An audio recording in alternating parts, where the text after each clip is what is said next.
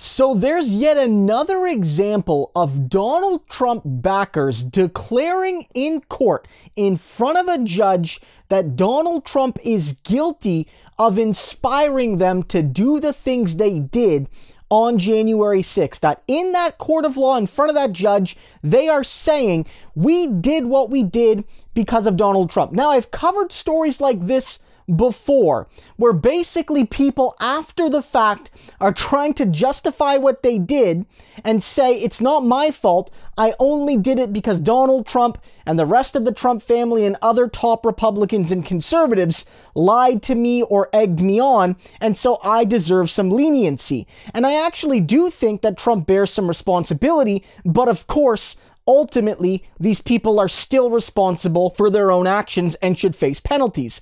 But there's a new case here where the evidence is much more established because the people in question have a written record before January 6th of saying that they are there or are going there because of Donald Trump. They literally say at one point, this is on the order of the Don himself. I want to read you some of this because it paints a picture of Trump's incitement more clearly than we've seen yet. And it says, the call to action was put out to be in DC on January 6th from the Don himself, Smith allegedly told Neff on December 22nd, some four days after Trump's infamous tweet.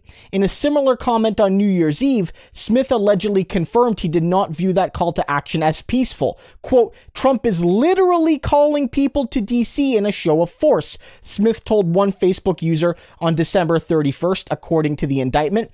Militias will be there, and if there's enough people, they may effing storm the buildings and take out the trash right there.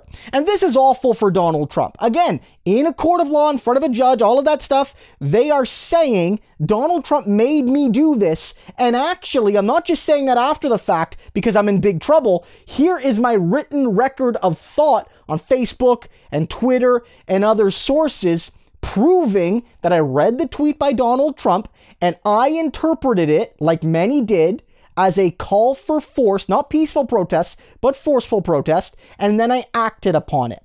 And here's the thing Donald Trump might not be directly on trial here. These thugs are on trial here. So far, none of these things have led to Trump getting charged directly, but keep in mind that there's looming threats to Donald Trump, civil and criminal, with regard to his role on January 6th. On the one hand, you have the January 6th committee, and even people like Mitch McConnell have said, at least in the past, that, you know, he still hasn't been held accountable for January 6th. Maybe impeachment isn't the way to do it. Maybe he needs to be criminally charged. And so that might still happen.